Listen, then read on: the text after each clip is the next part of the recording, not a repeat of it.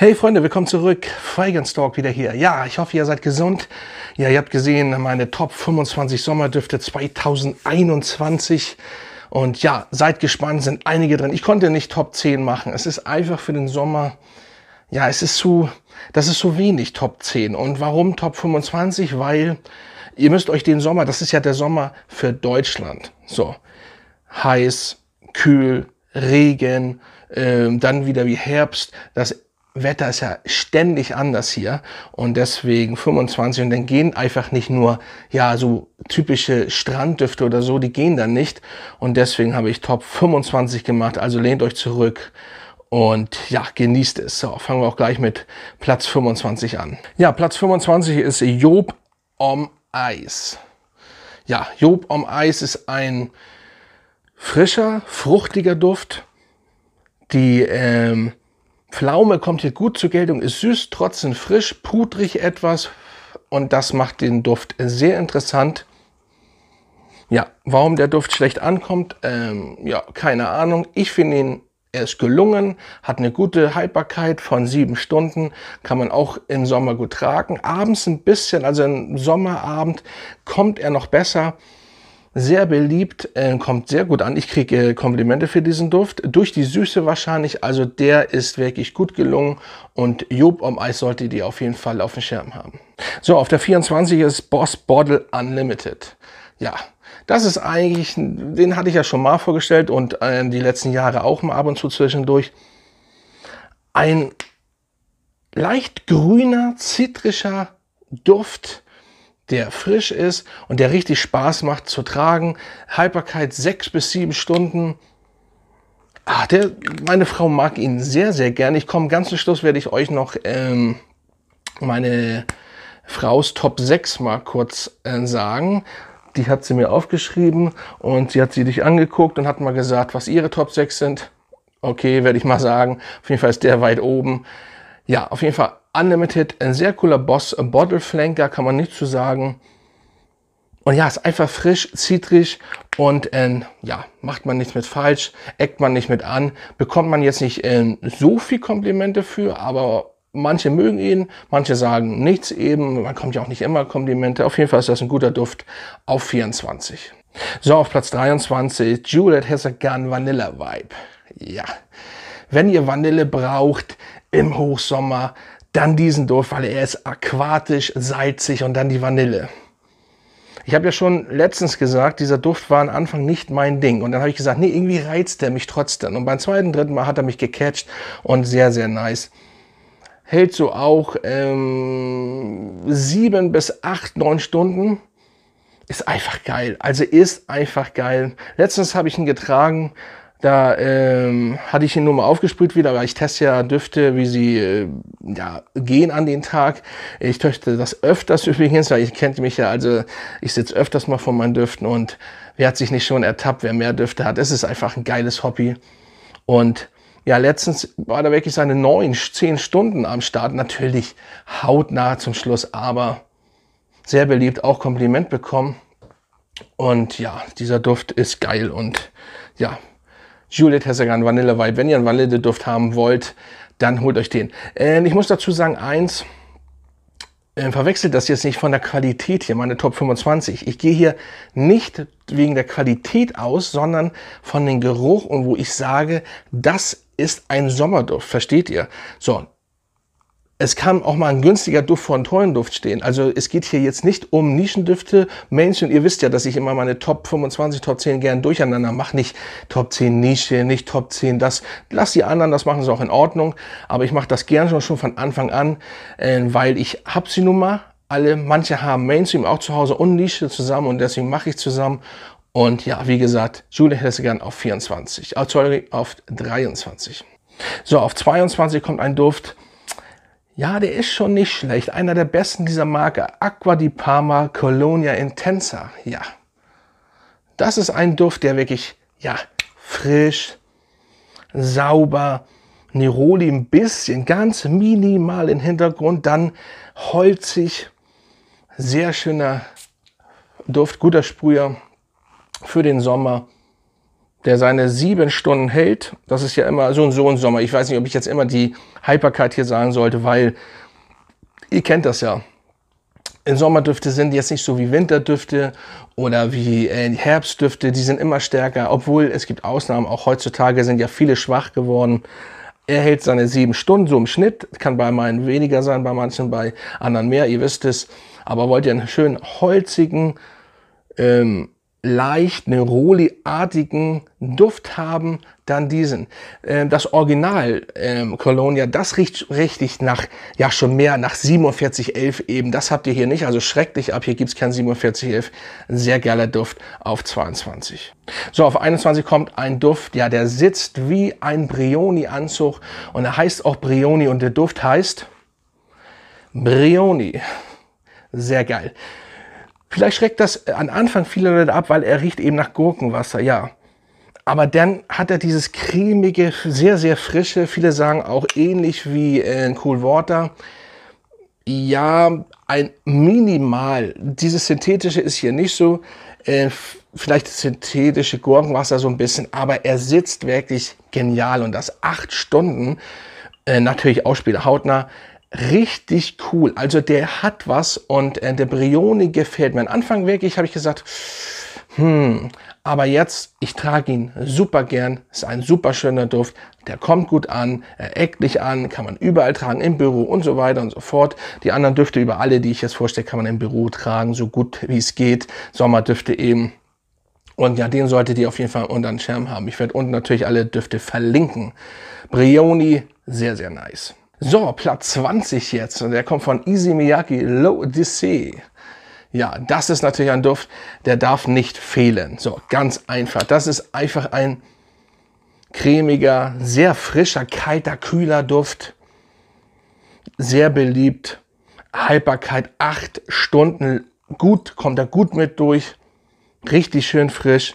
Und ähm, ja, nicht so zitrisch äh, hat er nicht. Er hat einfach ein bisschen das cremige und einfach eine, ja, eine Art, die, die hat man nicht woanders. Er riecht einfach, man merkt, dass das äh, Easy Miyake ist. Das ist einfach genial auf einer Hinsicht. Aber ich bin kein großer Easy, äh, Easy Miyake-Fan. Äh, ich habe ihn hier und den blauen noch. Ich weiß nicht, wie der heißt. Das sind so seine geilen Düfte. Und mehr braucht man eigentlich auch nicht. Vor allen Dingen ihn hier. Eigentlich muss, den sollte man in seiner Sammlung haben, weil hier, man erkennt es auch am Flakon, ziemlich stranger Flakon. Hier, Milchglas, sehr cooler Duft auf 20, Easy Miyake. So, Platz 19, ja, John Barbados Artisan Blue. Ja, hier ist er. Diese Marke wird ja immer teurer oder sie sind teuer, weil Konkurs gegangen etc. Ich weiß gar nicht, ob der jetzt übernommen worden ist. Auf jeden Fall, ja, das ist Sommer, das ist, ich stelle mir diesen Duft immer, wenn man auf dem so einen kleinen Fluss durch die Gegend schippert bei einem Sonnenuntergang. Es ist noch sehr warm und dann dieser Duft, weil aquatisch sehr, sehr, sehr, sehr, sehr frisch. Einfach, ja, so in den Südstaaten, so müsst ihr euch das vorstellen, amerikanische Südstaaten, äh, wie heißt das da, äh, Georgia, Savannah, wie auch immer, äh, schwül, heiß, dann geht dieser Duft. Sehr geil. Und diese Flakons hier mit dieser Art, ähm, ja, rumbuddeln finde ich schon so sehr geil. Coole Idee. Schade eigentlich, was daraus geworden ist. Haltbarkeit, ja gut, in sechs Stunden, fünf, sechs Stunden, sprüht nach. Äh, da sind sie nicht sehr stark. Bei manchen hält er sogar nur vier Stunden. Leider ist das so, aber die Marke und die Düfte sind schon sehr, sehr nice. John Barbados Artisan Blue auf 19. So, auf Platz 18 kommt ein Duft. Ich stelle ihn nicht so oft vor, man kann ihn auch nicht so oft tragen, aber im Sommer auf jeden Fall, und zwar Kenzo Pur Homme. Ja, wer den Duft kennt, kennt dieses aquatische, so ein bisschen, ja, dieses ähm, Grüne, was auf dem Wasser bisschen äh, liegt immer, äh, schippert oder dieses Moos und dann einfach dieses cremige, das ist ein sehr geiler Duft, der acht bis neun Stunden gut aushält. Also ich finde immer, dass der trotz der Hitze, wenn man Hitze hat, immer da ist und sehr, sehr nice ist. Also das ist ein geiler Duft und Kensuporm solltet ihr auf dem Schirm haben. Ich hatte ihn ja letztens schon auch mal herausgeholt. Der ist nice. Einer der coolsten Sommerdüfte, auch wenn er ein bisschen weiter unten ist, weil die anderen für mich einfach besser im Sommer funktionieren. Aber der ist sehr geil. Kensuporm, testet den mal. So, Platz 17 ist ein Monster.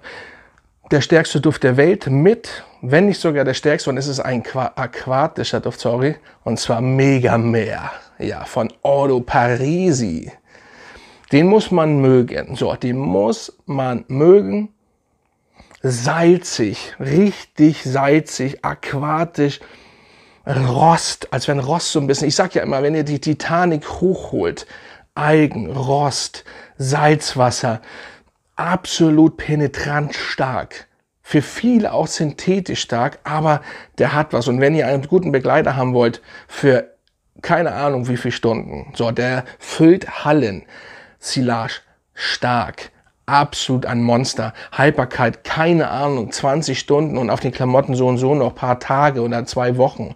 Wirklich hammerstarker Duft. Ordo Parise mega mehr. Das ist das Monster aus dem Wasser, wie ich immer sage. Sehr heftig, sehr nice, sehr heiß.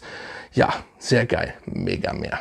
So, auf Platz 16 kommt der sogenannte selbsternannte bei vielen King.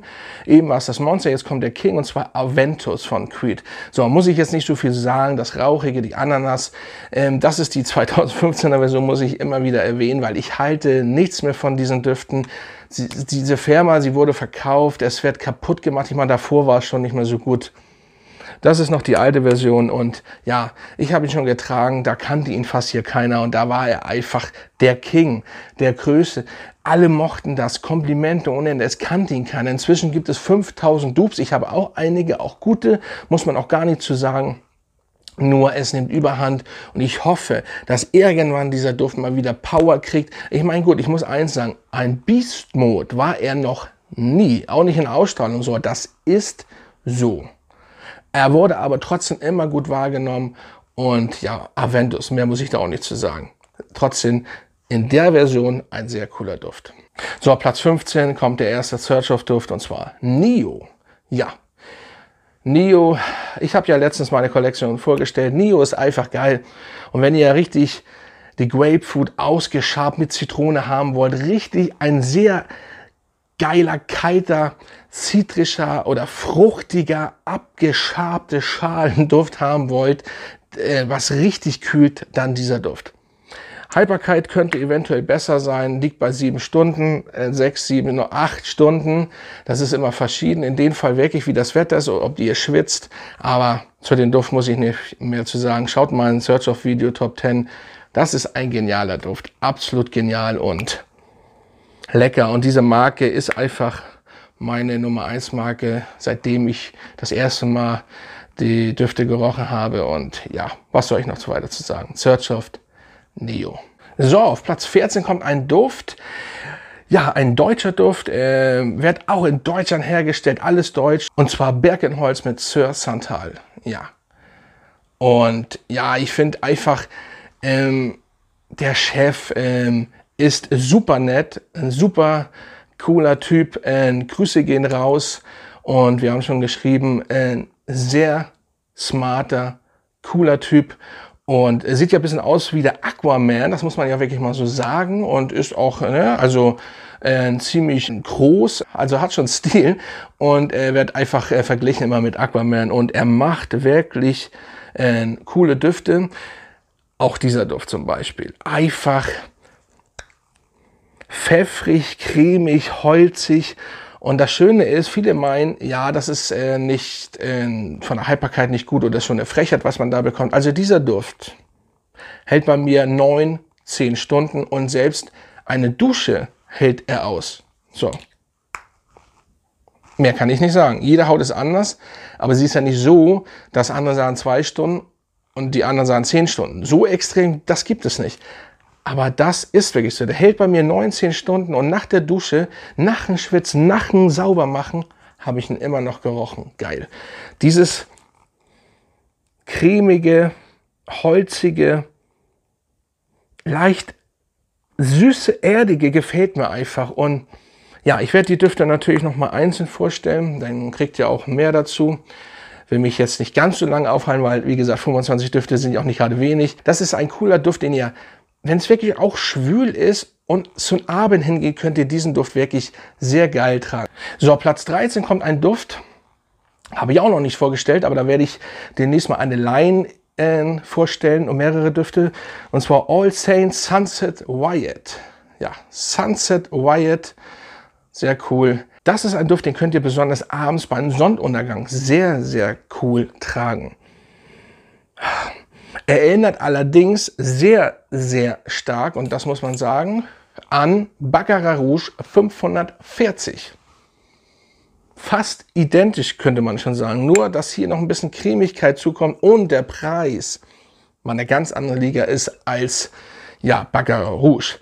Äh, man sagt hier viel, aber ins positiven Sinne, das ist so, äh, das sind so die Nischendüfte für den schmalen Geldbeutel, sagen wir mal so. Wirklich, Leute, schaut in meine Beschreibung, holt ihn da mit, mein Gutscheincode, habt ihr wirklich einen super Preis und ihr habt Endeffekt Baccarat Rouge, nur ein bisschen cremig noch, ein bisschen, ja, noch ein bisschen anders einfach. Baccarat Rouge ist ja allgemein schwer zu beschreiben. Ihr kennt ja die Story, wie ich das immer so beschreibe mit den Gummi, Medizin, süß und so weiter.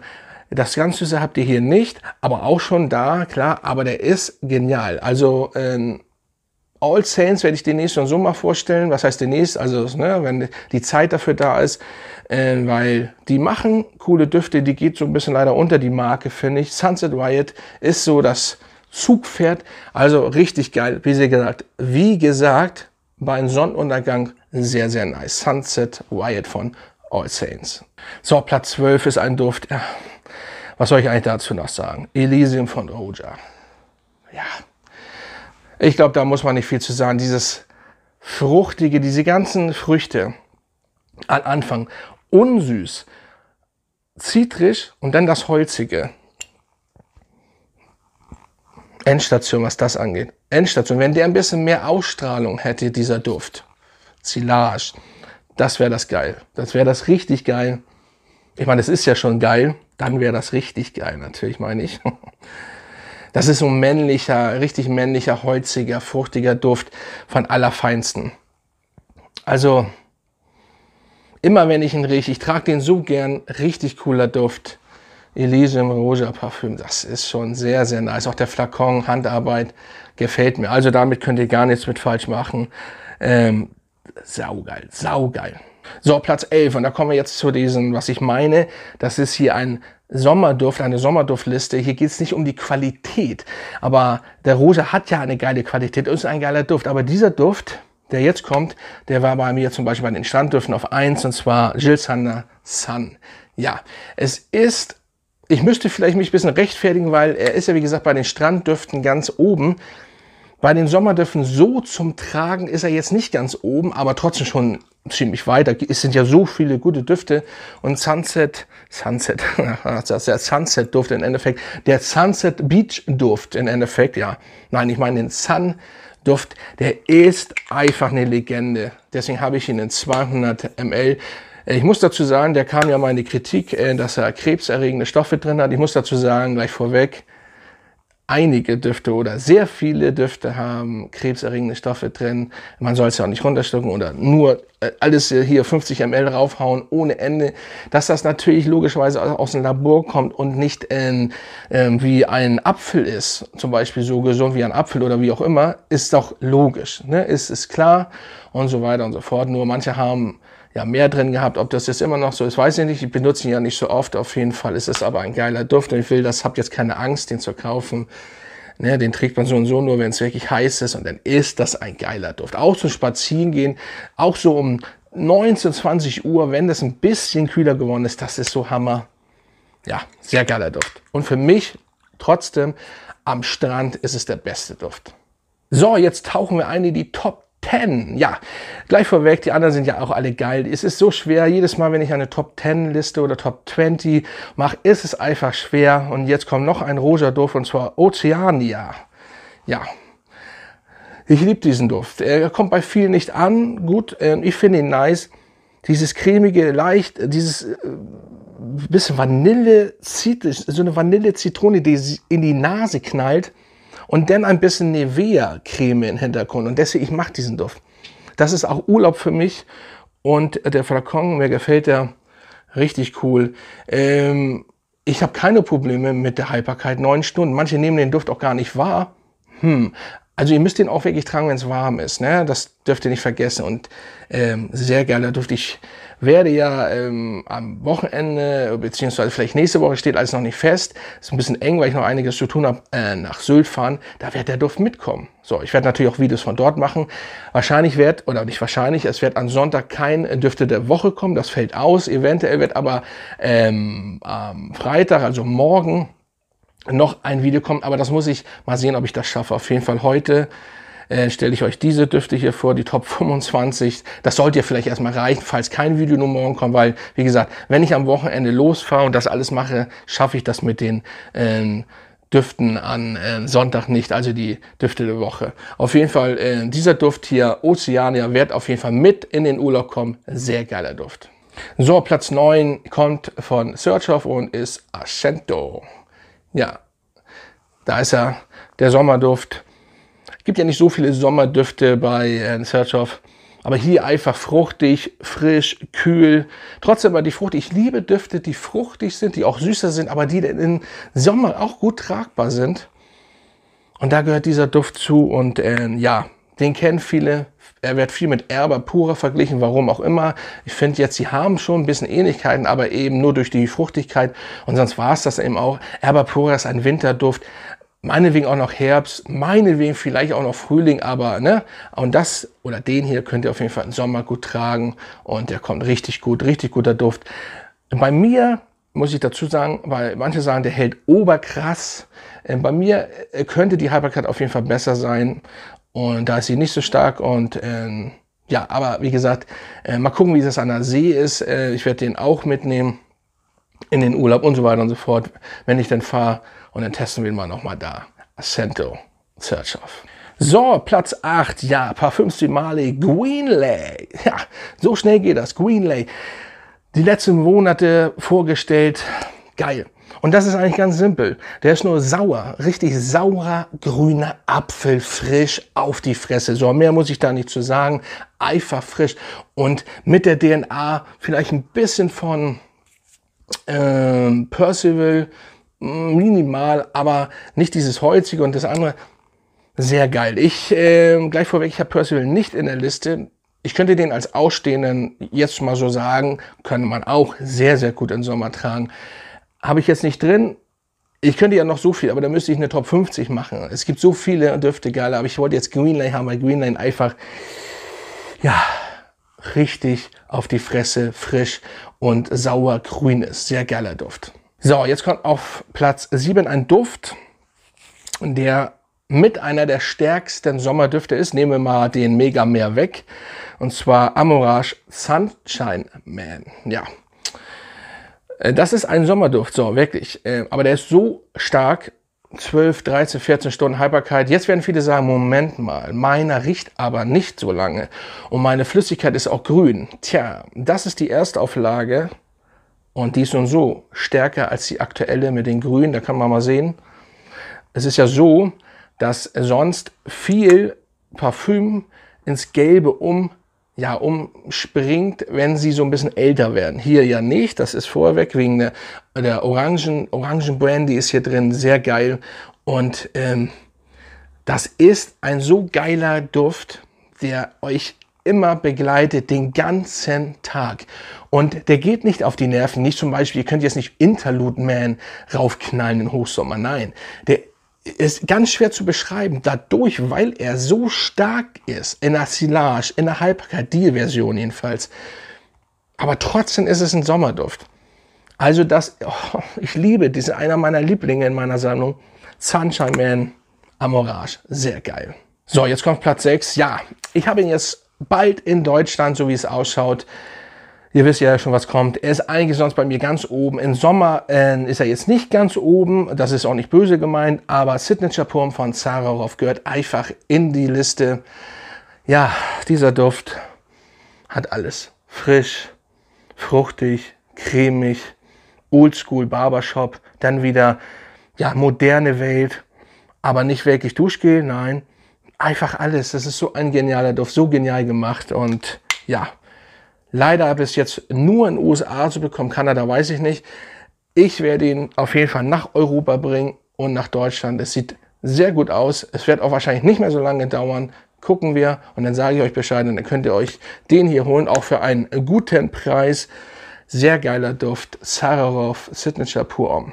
Ja, da muss ich auch nicht zu sagen, das ist, George hat da einen Duft kreiert. Sehr, sehr nice. Und da liegt die Betonung auf nice, wie der Dog immer sagt. Sehr geil, Signature Pure Om. So, Platz 5 ist ein Duft, den gibt's leider nicht mehr. Ich werde ja, wie gesagt, alle Düfte unten so gut wie es geht verlinken. Ja, MFK Apom Pur Kortschein, sein Duft, das ist so ein genialer Duft. Der strahlt eine Wärme aus durch die, ich glaube, Orangenblüte. Ich habe jetzt, weil es so viele Düfte sind, Orangenblüte oder Orangen, Cremigkeit, Fruchtigkeit Oh, der ist so auch genial zu tragen. So ein geiler Duft. Eigentlich schade. Ich frage mich immer, warum, warum werden diese Düfte rausgenommen? Verstehe ich nicht. Platz 5 Apom von Korchan. So, Platz 4 ist ein Duft, ja, den gibt es ganz schwer in der Variante. Ich weiß nicht, ich habe mal gehört, dass sie den neu auflegen wollen. Keine Ahnung, auf jeden Fall Central Park von Bond Number 9. Nicht Central Park East, Central Park ne, und so weiter, sondern der Original Central Park. Einfach frische, grüne, frische, so das Gras, ähm, ja, passt ein bisschen. Kann man nicht so ganz mit dem Central Park, aber wenn ihr in Central Park sitzt, ihr müsst euch das vorstellen, wer das kennt, weiß das, ihr setzt euch dahin, rundherum die Wolkenkratzer von Manhattan, es ist schon geil. Und wenn ihr den Duft, das passt schon. Also sie kreiert ja Düfte, die immer so ein bisschen zu der Ecke von New York ähm, passen. Ich finde, das passt nicht alles. Zum Beispiel, soweit ich das im Kopf habe, vielleicht werde ich ihn nochmal, das ist vor vier Jahren gewesen, schade eigentlich. Wall Street ist so ein bisschen verkackt worden, muss ich sagen. Es hat nicht wirklich, aber ich muss ihn vielleicht nochmal, aber ich glaube, der ist, das ist einfach nicht so, wie es sein soll. Aber Central Park, absolut geil. Wenn ihr wirklich grüne, wirklich das Frische haben wollt, cremig, auch zitrisch ein bisschen, äh, dann ist dieser Duft wirklich für euch top. Central Park, Bond Nummer 9. So, Platz 3 ist ein sehr außergewöhnlicher Duft, den ich noch nicht vorgestellt habe, aber ich habe ja immer gesagt, das mache ich, und zwar Eight and Bob. Ja, Eight and Bob. Da ist eine super coole Geschichte, die ich gar nicht so ausführen kann komplett, aber ich erzähle sie mal, weil sie wirklich sehr interessant ist. Jedenfalls ein, ein Stich Teil oder ein Bruchteil davon. Und zwar der junge John F. Kennedy, der während seines Studiums äh, nach Europa äh, geflogen ist, um sich da ein bisschen ja umzugucken, was auch immer etc. gemacht hat, äh, will das wie gesagt nicht ausführen, hat da einen Parfümier getroffen in Frankreich. Und der hat einen Duft getragen und das fand John F. Kennedy wirklich so gut, wirklich so gut, dass er wo er wieder nach Hause geflogen ist, er hatte immer diesen Duft im Kopf und er er wollte den unbedingt haben und äh, hat den äh, Parfümier dann nochmal äh, gesucht beziehungsweise ausfindig gemacht und hat äh, äh, geschrieben, dass er acht Proben haben möchte plus eine für Bob. Bob ist sein Bruder von John F. Kennedy und ähm, deswegen auch Eight in Bob. Coole Geschichte eigentlich und dann hat er auf jeden Fall ähm, weil er konnte ja den Duft nicht machen. Er, er wusste, John F. Kennedy weiß ja nicht, wie man Düfte macht und hatte auch die Inhaltsstoffe nicht und so weiter und so fort. Und äh, ja, äh, dann hat er ihn ausführlich gemacht und hat ihn gefunden und der hat ihn dann acht Proben geschickt plus eine für Bob, sein Bruder, weil er das auch äh, sehr nice fand, diesen Duft. Ähm, acht zum Beispiel kann ich jetzt euch nicht sagen, welche acht Leute das waren. Auf jeden Fall hat er ja sehr viel Komplimente, weil er hat ja von dem Parfümier aus Frankreich eine Probe, also eine kleine Probe mitbekommen, die er dann nach Amerika genommen hat und getragen hat. Und das war so beliebt, dass ihn einige Leute so beneidet haben und ja, acht Leute wollte dann einfach einfach acht Proben haben, plus eine für seinen Bruder und deswegen Eight and Bob. Und dieser Duft ist cremig, iris, blumig, passt einfach Anzug, also nicht hier jetzt mit Bulls oder so, kann man auch machen, ne? aber Anzug passt wirklich zu John F. Kennedy, auch zu seinem Bruder oder äh, das ist egal. Es passt einfach und mit Anzug auch, man kann auch weißes Hemd tragen und so weiter. Riecht so ein bisschen wie äh, Fahrenheit 32, nur ein besser.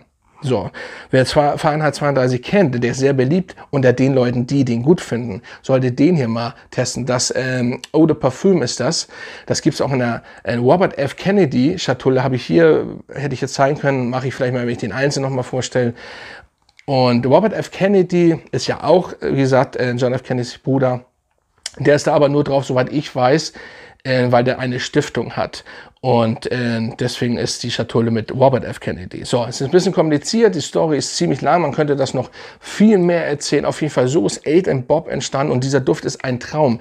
Ähm, er könnte auch gut auf eins sein, nur es ist eben ein pudrig, es ist nicht kein typischer Sommerduft. Also schon Sommer kann man das ganze Jahr tragen, ne?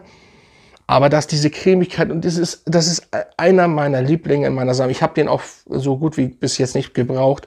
Und die Schatulle mit Robert F. Kennedy drin ist äh, drauf, ist schon sehr, sehr geil. Das Buch dazu, da steht die Story auch drin. Also Aiden Bob, coole Geschichte, finde ich. Also äh, ich möchte gern, er hat das ja einfach nur so geschrieben, hat gesagt, äh, schick mir bitte mal acht Proben und plus eine für Bob. So, und so ist dann auch Aiden Bob der Duft gekommen und genial, absolut genial. So, auf Platz zwei ist ein Duft von Cologne, wie ich mal so schön sage, und zwar L'Homme Ideal Cologne. Gibt es leider nicht mehr, aber ist auch viel auf dem Markt, also ne, sehr viel auf dem Markt, sehr beliebt. Also meine Frau liebt ihn an mir, das ist der Lieblingsduft meiner Frau, dann sage ich immer, dann ist Feierabend, wenn ich den trage. Zitrisch, Zitrone und dann mit Mandel. Also besser geht's nicht. Ich habe da Backup-Flakons, vier Stück von. Mm, geil. Viele sagen, der hält gut. Ähm, ich muss sagen, leider, du musst manchmal 15 Sprühe rausknallen. Es ist leider nicht so stark. Aber wenn ihr ihn tragt, manche nehmen ihn schon warm. Es muss schon sehr warm sein und dann ist der geil. Aber, ach, ja, der ist schon ein sehr leckerer Duft und ja, was soll ich anders sagen? Schade, dass sie ihn rausgenommen. Finde das cool. Es ist aber auch geil, dass auf einmal den alle lieben, weil ich habe den schon gemocht, wo er noch nicht so beliebt war, weil früher hat man gesagt, ja, der hält ja nicht und einfach ein stinknormaler Sommerduft und seitdem er eingestellt worden ist, oh, geiler Duft und Hammer, gibt keinen besseren und so weiter. Ja. Ich meine, Gelöng macht Gelöng, macht ja so, so sehr geile Düfte und äh, das ist ein Haus, was mit ein, ja, eigentlich die besten Düfte mitmacht. Die haben eine Qualität, auch im Mainstream-Bereich. Das ist schon Hammer. Das ist schon wirklich Hammer. Sehr geiler Duft. So, Platz eins ist Bora Bora. Nein, es ist der Bora Bora Duft. Also es ist ein Traum. Tom Ford, Mandarino der Amalfi, Aqua. So, ganz einfach. Ja, was willst du? Es ist Sommer, es ist pur Sommer. Jetzt könnte man, jetzt Zahn habe ich auch gesagt, aber das ist Strandduft. Aber das ist hier, ihr müsst euch, wenn ihr auf Bora Bora seid, oder Malediven, oder, äh, ne? Das ist Traum. Mandarine, frisch, die leichte Süße, den kann er gar nicht so beschreiben. Meerwasser, aber kein stinkendes Meerwasser, kein Salzwasser. Einfach, als wenn das Meerwasser leicht süßlich ist. Ach geiler Duft. Und auch in der Aqua-Version übrigens, da ist er nämlich noch ein bisschen frischer, deswegen Aqua-Version. Ich hatte auch die normale, die ist, die habe ich nicht mehr, vielleicht hole ich mir die normal, aber muss man nicht unbedingt haben. Aqua kostet ja auch weniger, kriegt er denn 100 und hält sogar, glaube ich, noch länger. Ich habe das, den alten nicht mehr im Kopf, das Eau de Parfüm, aber das Eau de Toilette ist richtig gut, absolut gern. Deswegen auch zu Recht auf 1. Das ist ein Sommerduft von allerfeinsten. Mandarino d'Almafi Aqua auf 1. So, und jetzt kommen nochmal die Top 6 äh, meiner Frau, die hat sie mir hingehangen, weil ich soll die euch mal kurz sagen. Das ist ihre Top 6, mal sehen, was ihr davon haltet. Platz 6, sie macht übrigens keine Top 5. Äh, 5 die Zahlen macht sie nicht. Äh, meine Frau ist ab und zu mal ein bisschen strange. Platz 6, äh, John Varvatos, Artisan Blue. Platz 4, Hugo Boss Unlimited, könnt ihr mal sehen, das ist bei mir auf 24. Platz 4, Tom Ford Mandarine Almafi, der auf 1 ist bei mir. Platz 3, Easy Miyagi Le Dessert ja, kann man mal sehen. Äh, Platz 2 George Zararov und Platz 1, ihr habt ja hier richtig hingehört, natürlich Gelöng, Ideal Cologne. Ja, das war oder ist die Liste meiner Frau, die Top 6. Ja, ich hoffe, euch hat das Video trotzdem gefallen. Es ist nicht mal so einfach, äh, so aus dem Stegreif die 25 Düfte mal so vorzustellen.